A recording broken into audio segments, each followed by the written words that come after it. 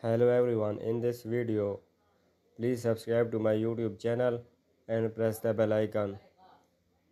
In this video, he scores goals from midfield in his first match at Old Trafford on Manchester United Day of Celebration which presented the team and the latest signing Rasmus Højlund in front of its fans.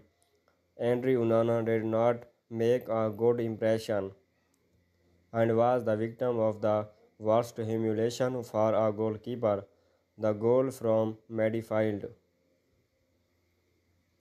An unfortunate match for the new arrivals between the Red Devils and the French side Lens, in which before the guest advantage with witnessed the incredible mistake of Mason Mount.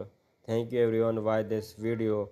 Please subscribe to my YouTube channel and press the bell icon. Hello everyone in this video